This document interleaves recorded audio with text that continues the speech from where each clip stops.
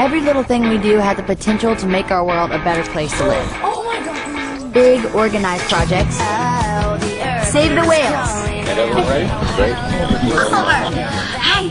Help a rescue organization. Oh. Small individual acts of kindness. Hug a tree.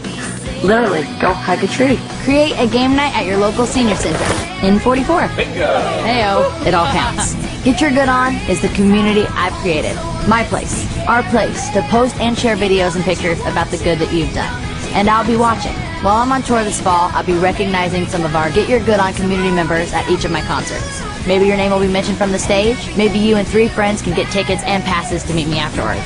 So I can thank you personally for getting your good on. Get Your Good On is a movement, a community, our community. Join now to share ideas and get info from me and my friends at Youth Service America on ways you can contribute special projects in your community. Youth service means you. Cool things you can do yourself and cool tools to help you out. So get on it and get out there. Get your good on. Thank you for a good day. Thank you. Hard work. I love my job. I love my job. Great.